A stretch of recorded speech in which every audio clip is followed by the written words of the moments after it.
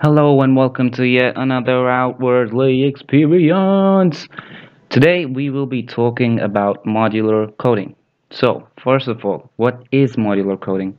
Modular coding means that instead of writing one script or one code for the entire game mod, we will divide it into files, lots of separate files now you might ask me, why would we do that, Ronnie? Why would we divide one file into more than one files? Well, the basic reason is data structure.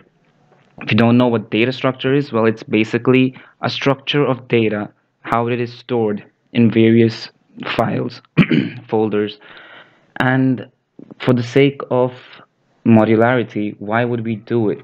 Why do we even need modulation in code?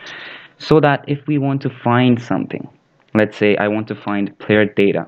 Instead of going through let's say 60,000 lines of code which is inside one script one.cs file I will simply keep it inside another folder named player data in a player.cs file. And I could I will know that anything related to players will be in that folder.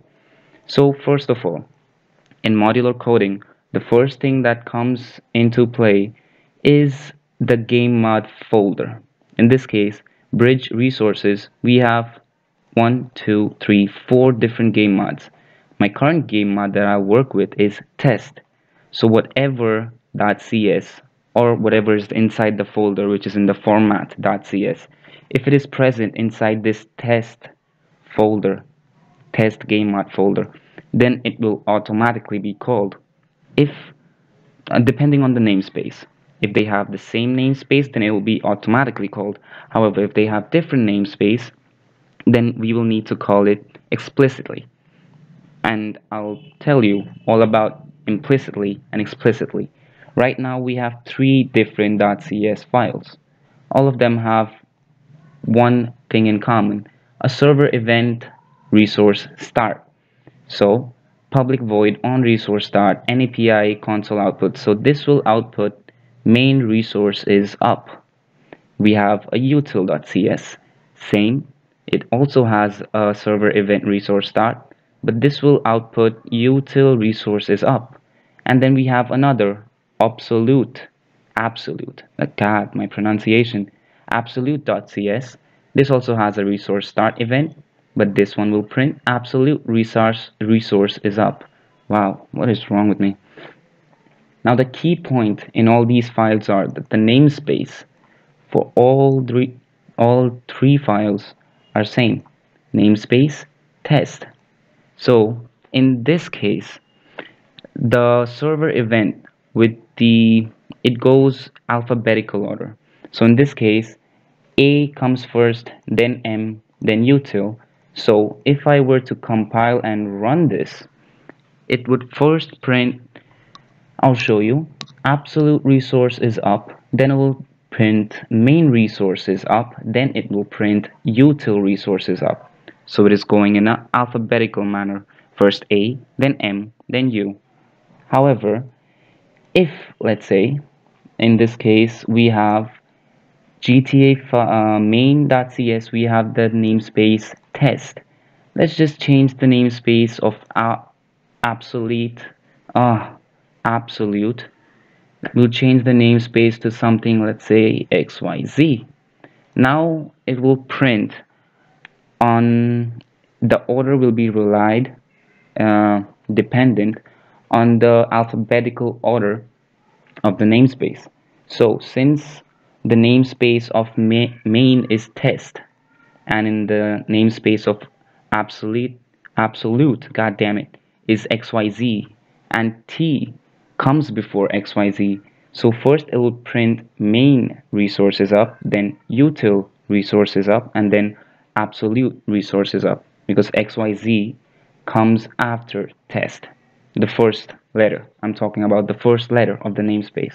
So let's just try it. And you can see now it is the console output is dependent on the alphabetical order of the namespace. So in this case, main resources up comes first instead of absolute resources up. So this is how it is dependent. uh, on the namespace name now let's say I'll change the namespace back to test but now we will add a folder folder folder folder add folder let's call this player data and we will add a file of C sharp class and call this data. And in this we will just add another first let me reference GTA network API and then we will just add another server event. Again the same thing we'll use the same thing event dot resource start public void on resource start. In this case I'll just print NAPI util dot console output. Same thing um, player data resource is up and then we'll start the server. In this case okay let's see absolute main util. I missed something definitely. Forgot to put this as script. Let me close that. Save. Run. Ah silly mistakes so now you can see now what happens is whatever comes in the depth by depth I mean whatever is inside a folder. This is level 2 now. Player data is inside depth level 2 all these are in depth level 1 like it is in the root folder of the game mod but this is inside another folder. So if I were to call this uh, it is a D. The name of the CS the file is D so it should have been if it was in alphabetical order it should have been absolute resource is up then player data resource is up then main resource is up then util resource is up.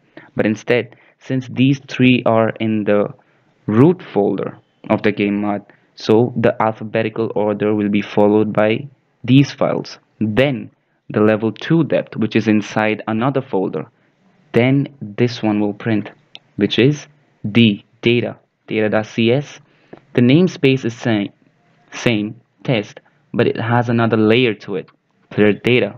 This is the name of the folder. As you can see over here player data is the name of the folder. Test is the name of the namespace. This is just a normal server event of on resource start and it prints player data. So what have we learned so far?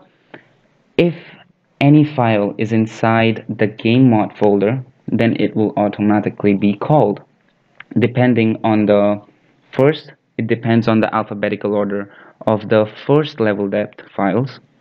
Then if let's say we change the name of the namespace then whatever namespace comes before like in the alphabetical order it comes first the namespace. That'll run first.